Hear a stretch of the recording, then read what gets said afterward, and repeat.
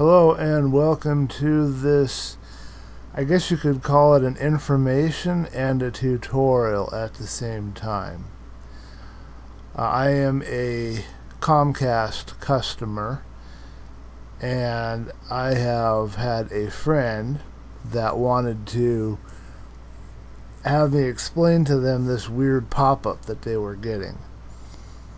And as soon as I looked into that, I know that I want to change uh, ISPs, but there's this pop-up being sent from Comcast through CAS. I'm going to adjust the microphone one second. And how it's done is it's injected into somehow into your browser and you have to wait for it to go away after a certain time. And if you're somebody who downloads uh, files off the internet, like torrents is a very good example of what they're really watching right now. Excuse me this message. Anyway, um, if you're doing that, then they're watching, I guess they're referring to RIAA, MPAA, CAS, whoever else is behind all of this, probably CIS. Um, they're all watching these torrent sites, so if you click on something and download it, even if you do a magnet link or a torrent file itself and then go from the torrent file, somehow they're able to determine if you have a file that's a particular size that matches some reported file, and if you do, then they will send this pop-up through Comcast. Comcast is, I guess, not directly responsible for this, although I can't imagine that they're throwing a fit over having to do it. I don't think any legal action was taken to force them. I think they're more than happy to do it because they're a cable company and they lose money if you're downloading stuff. Anyway, the pop-up is probably not coming directly from Comcast, and if you try to go and, and get help at any Comcast satellite office, you're not going to find anything. They'll just give you one of those 1-800 automated ring around the rosy numbers.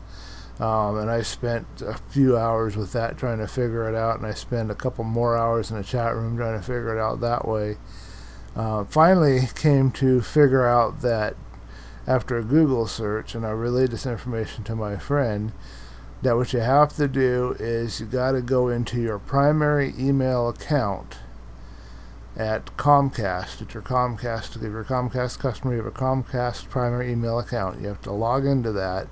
And if you don't know your primary account login information or don't remember it, uh, good luck getting to it because it's going to take you two hours and a bunch of uh, spiels for special offers to go through anything on chat. And I don't even know how nightmarish it is on the phone. Plus, you end up talking to people on the phone that sound like they're in India or somewhere. I think I talked to one person that sounded like they were in the middle of a marketplace. There's no way for me to hear what they were saying. But uh, you'll finally you'll be able to get that information, and then you'll be able to log in, and then you'll be able to see if they've sent you messages, and they'll tell you what files are violating these terms, and they give you a bunch of legal stuff. And, it will go away once you have deleted the pop-up will go away once you have deleted the files off your system. The good news is that if it's like a, a, music file, like if you downloaded some music in FLAC format, you could convert it and the you know delete the FLAC, and then you didn't lose anything, and the message will go away. Uh, it won't work for a movie file though, and, and I don't particularly. I'm not taking a side uh, either for or against this, so I don't encourage uh, the stealing going on, but I also don't discourage it. I'm not on either side and I don't consider it stealing because stealing implies violent action to take something and nobody that I know is, uh, my friend included, is taking any kind of violent action. They're doing what's called sharing. They're sharing files back and forth. And they're not even really sharing files if you think about it. They're sharing bits of files. And the bits of files combine into a whole file, but nobody, I don't think, shares the whole entire file. It's little tiny bits. I'm not sure how it all works, but anyway, I told them what they needed to do, and they were able to get into their primary account and see those messages, delete the files that were causing it, and stop uh, that process. But now, knowing that uTorrent is being watched, you're left with a bit of a problem. I discussed some of this over here on my blog. I'll give you a link. This is my tech blog, and this will tell you a little more about all of this uh, stuff.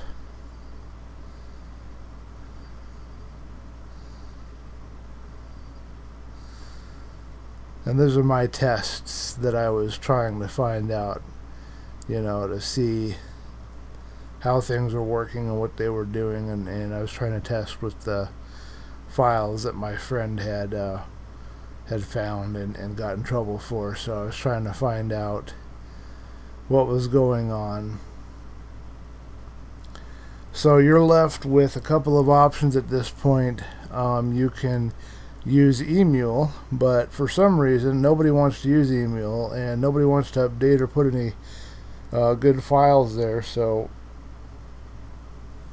good luck trying to find anything of any good quality through Emule. And most of your anime uh, you're going to find is going to be uh, subtitled. It's not going to be English dubbed. So if you're a fan of English dubbed in your anime, you're not going to get it there.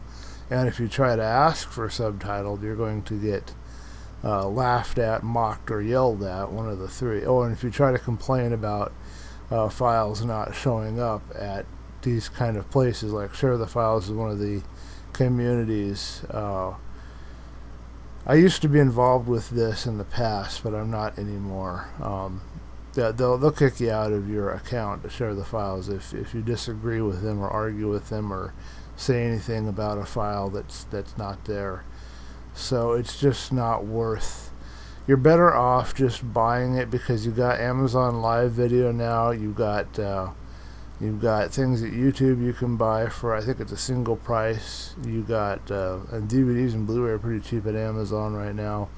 Uh, overall, you're just better off buying the thing and having it legitimately. Um, other than that, you can continue trying to do your downloads. Uh, if you're somebody who's doing that and you're getting these CAS messages, you can just continue doing it, see what happens. It's a six strike, you're out kind of a law that they got going, but nobody's reported what happens after six strikes. If it were me, I wouldn't want to chance that. Um, you can try to get a VPN and then you have to pay for that so again you're better off just paying for the Blu-ray disc or the DVD or the CD or whatever it is you're after or just getting it online. I mean Amazon is going to get you pretty much everything that you could for about the same price you're going to be paying for a VPN per month per month you could probably get a lot of the stuff that you really want at Amazon. So I would just encourage you to go that route.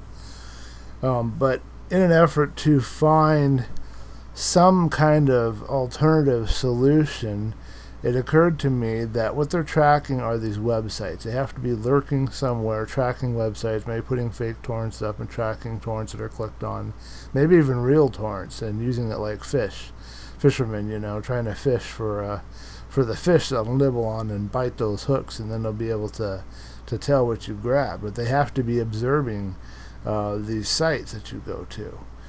So the solution then is to not be at those sites to if you're going to get anything to get things. So I was doing some looking around and I found this. If I can, it might take me a second to actually find it. Yes. So this is a program called Torrent Search and what this allows you to do is you can search for whatever it is that you want. This will only give you a torrent file. It will not give you the actual file. It will just give you a .torrent file.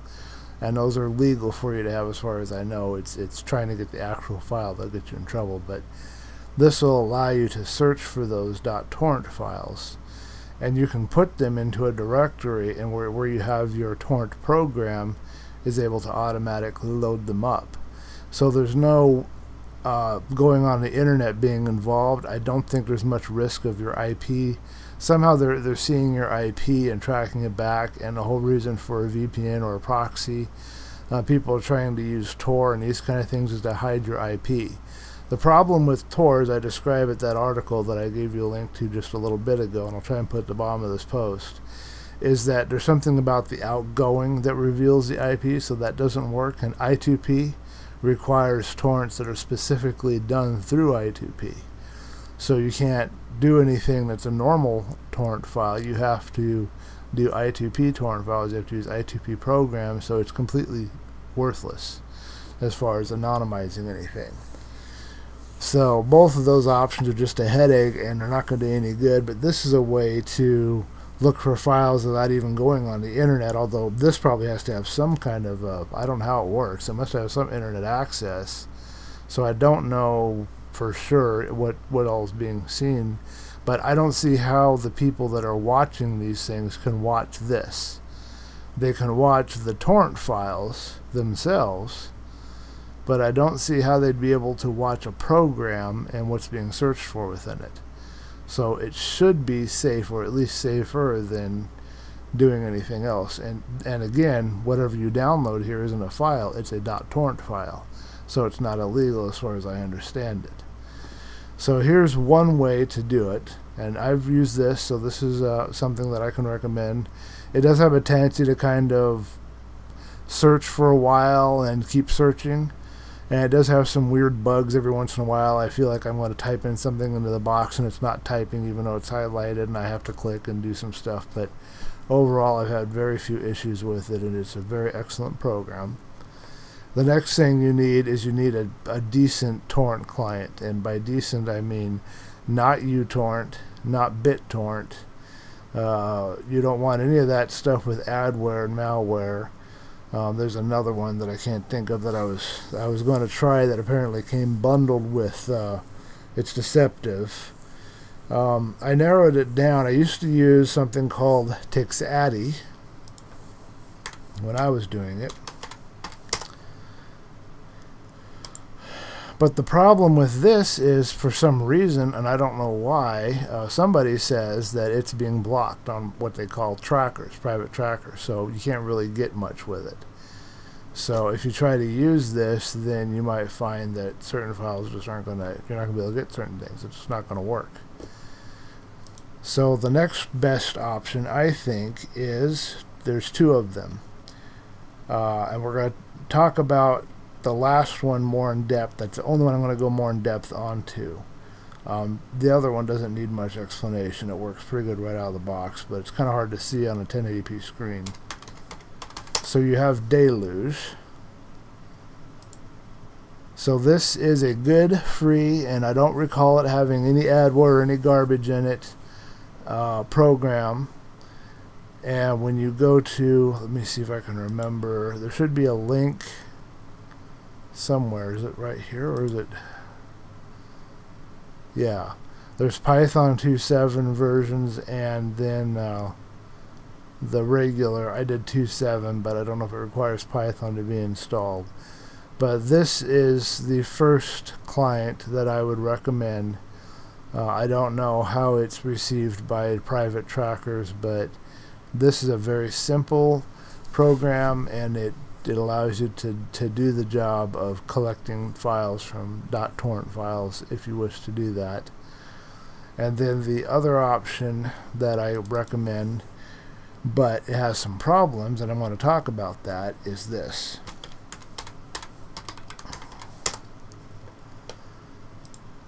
There's something fishy going on with this particular program because everybody is strangely quiet about this issue that when you open up the program and you click uh, you, you click search and if you don't have Python installed it'll install Python then give you a search tab.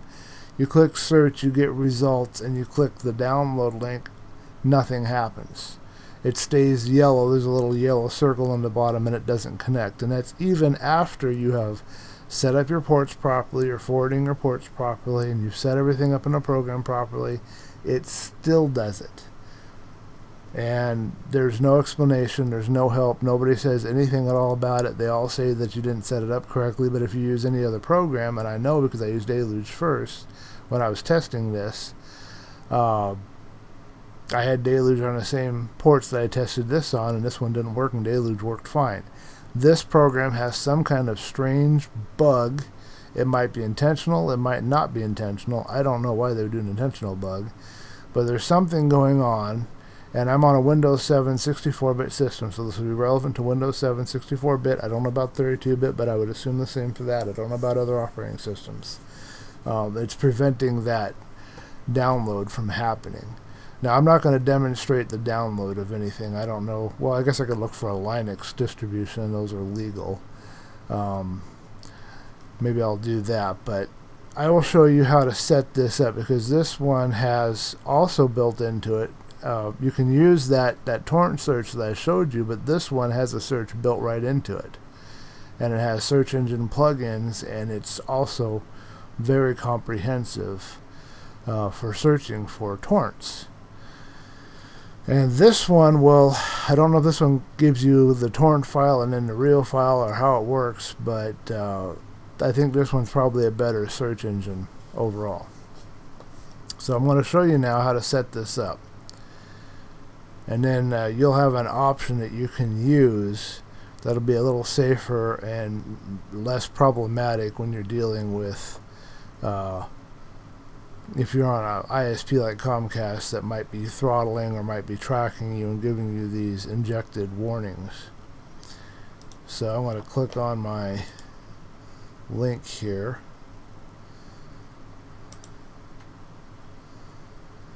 Okay, so I have qBittorrent started up.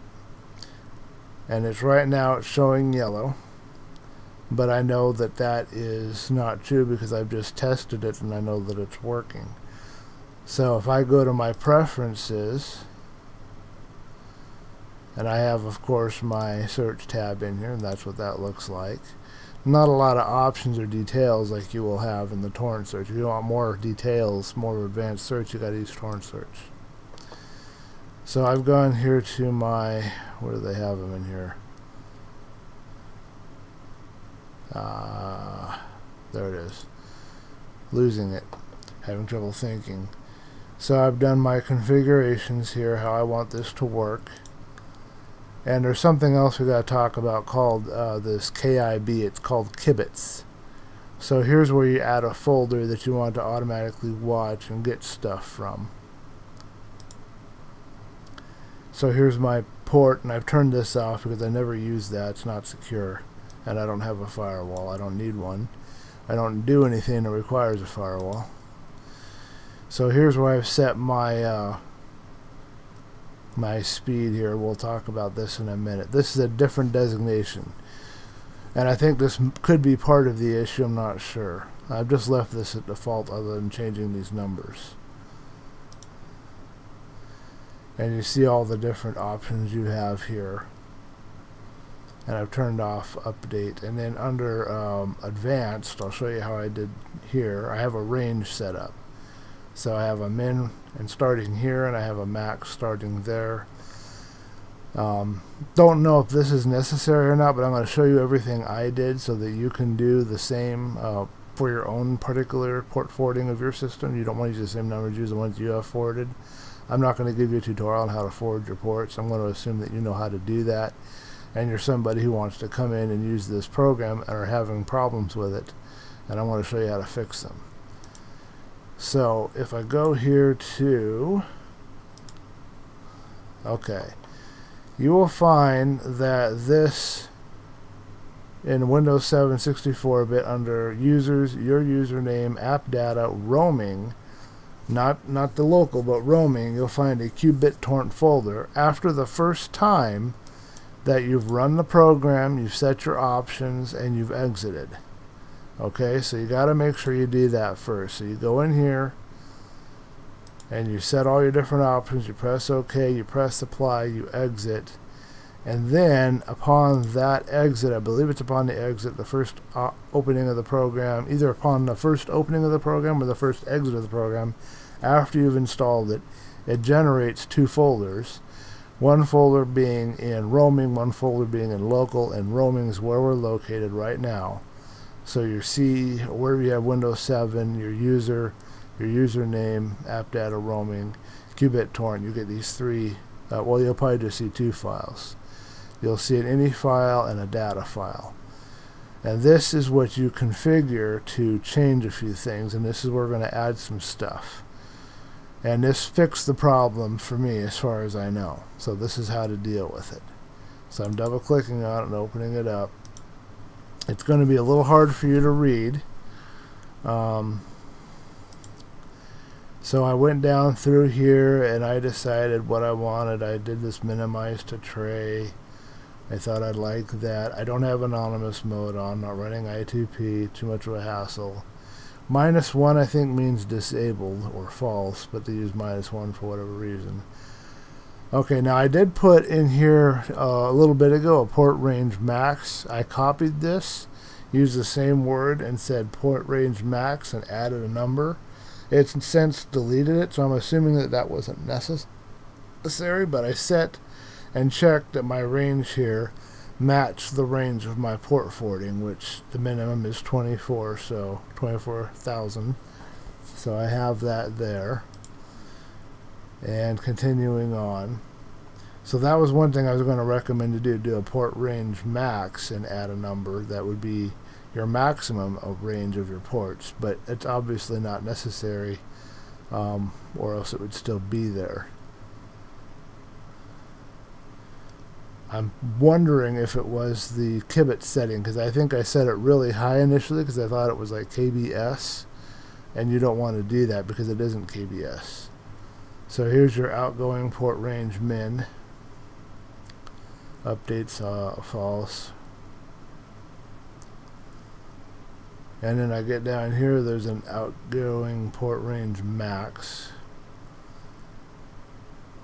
And I set a few other things in here, but just set this to your system and oh wait a minute, here's outgoing ports. What do I have a ports max?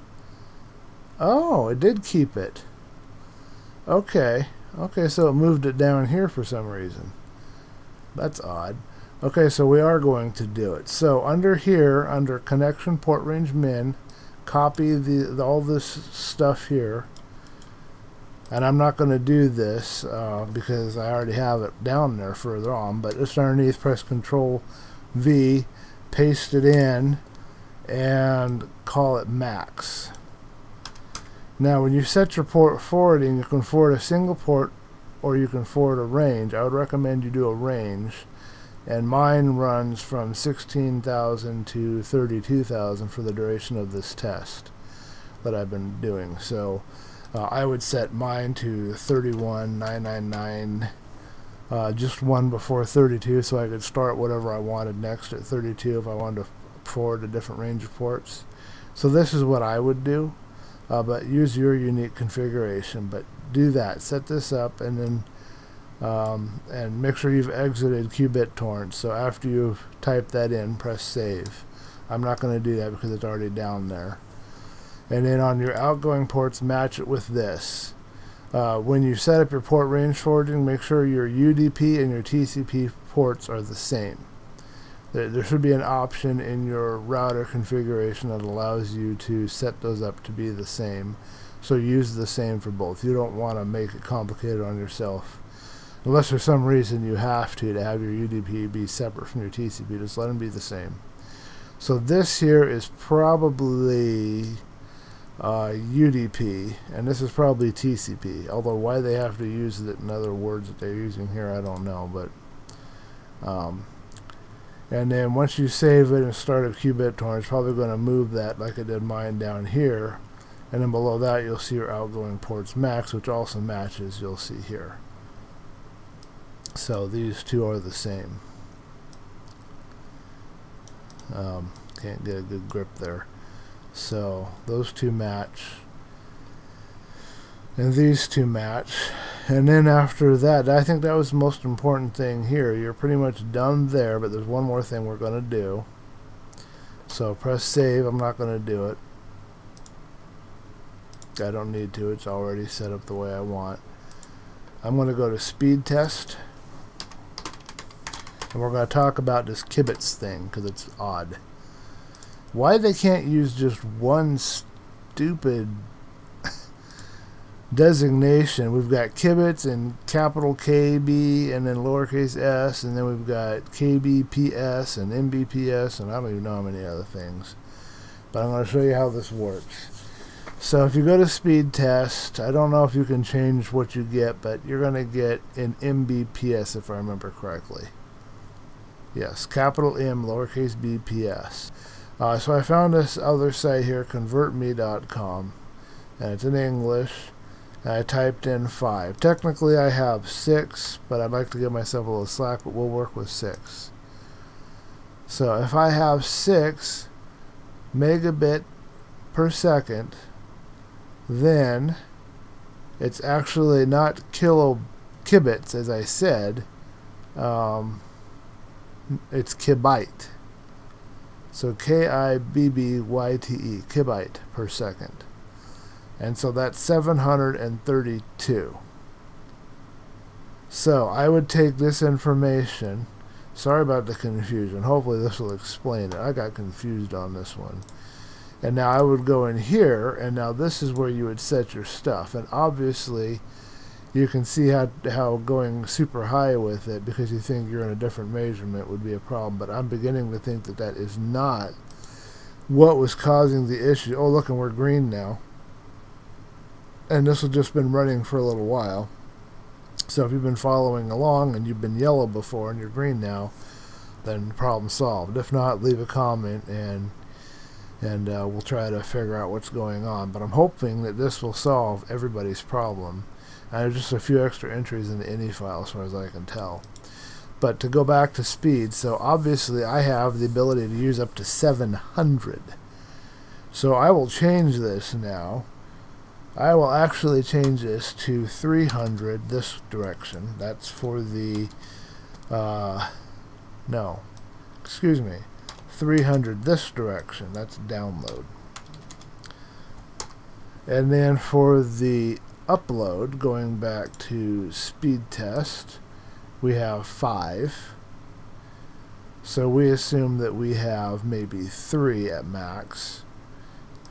Um, and we won't use the whole thing. We're going to use a part of it. So if I say 3, I now have 366 of these kibytes. So I'll take that into here. So I divided this. Actually, I could go to 350. No, that's the wrong one. I want down here. I can barely see my screen from back here. Otherwise, qBittorrent is awesome on this. So I halved that, so I'll half this to 150.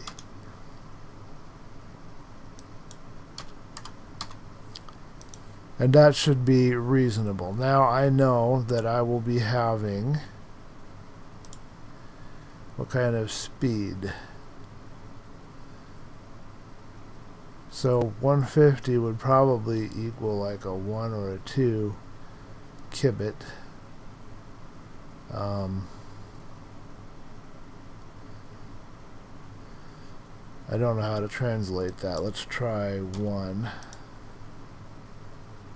So that's 122 two, kibyte, I mean. 1.2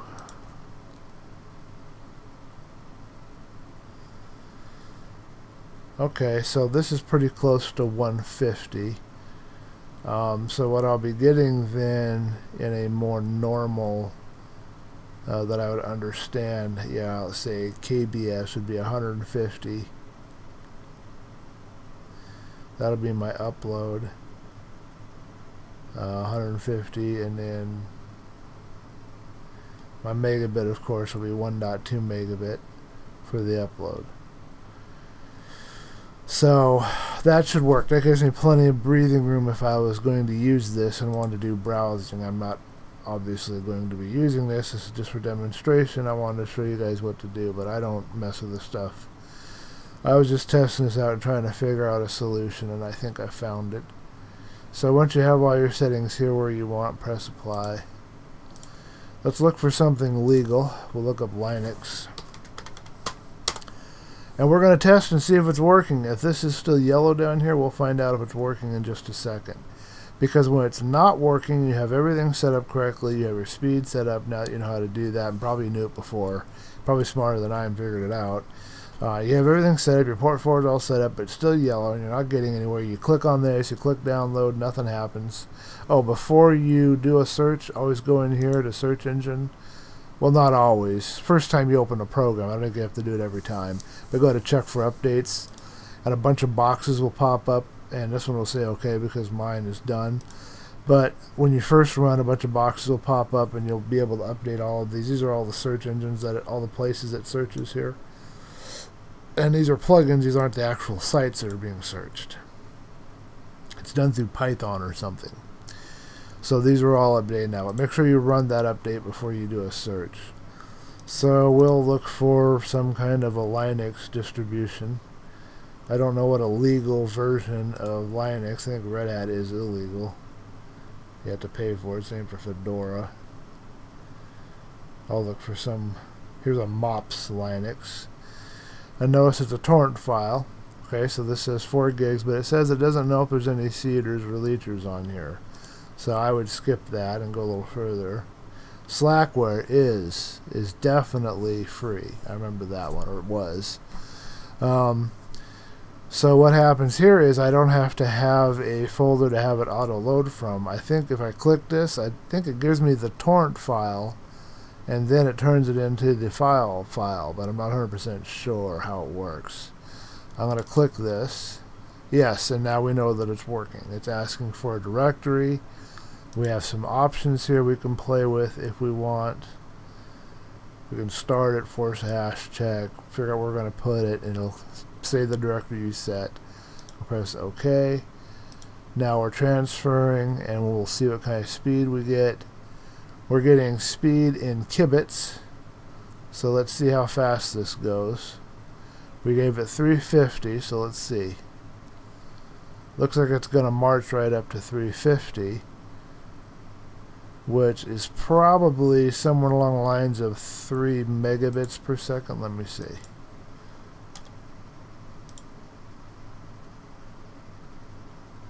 A kibyte. I keep saying kibit, and it's kibyte. It's just under 3 megabits per second. And then in other terminologies, it's like we're getting 375 kilobytes a second we can up that. We can we can go higher than that if we really want to push it. But this is just using half of my available bandwidth. So we'll have a time estimate here. This is 4 gig file. It's saying it'll take 3 hours to download, so that's a gig an hour. So if I didn't want to wait, I could I could increase the speed. But now you know how to do it. You know where to go to convert it and figure out what you're going to get. I'm not going to continue with this, of course. Um, I have solved the issue and relayed the information to my friend and he'll have this tutorial that he can look at and I'm all finished on it. Um, and hopefully that'll solve the problem. You should be able to start using qBittorrent. If you like Deluge, you can use that. If you like qBittorrent, you can use that. I would recommend qBittorrent over Deluge right now.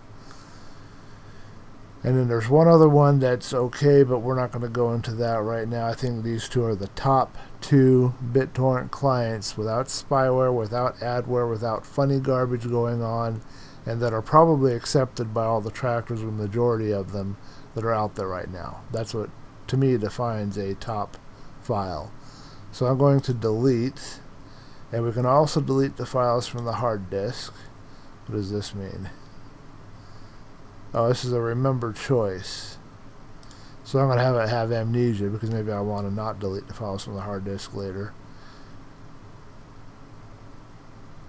Yeah. I wonder what that means because it won't let me click it again.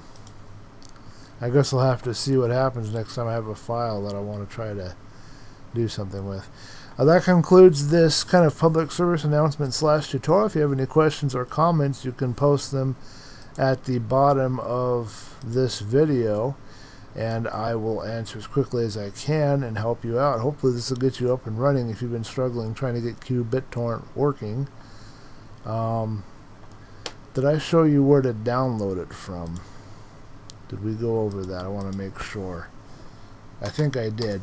One of these, you had to click a link underneath to get to SourceForge. And I don't think it was this one.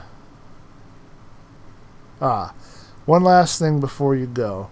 There's two links. You get this bigger one here, and then you get this other one called SourceForge. I would trust SourceForge over FossHub, although I don't know FossHub that well. But get the original so you know that you're getting one that uh, from the original qBittorrent where it's hosted at SourceForge, and you know there's going to be the proper file. I want to press cancel and we're leaving. So I will see you whenever I do another tutorial.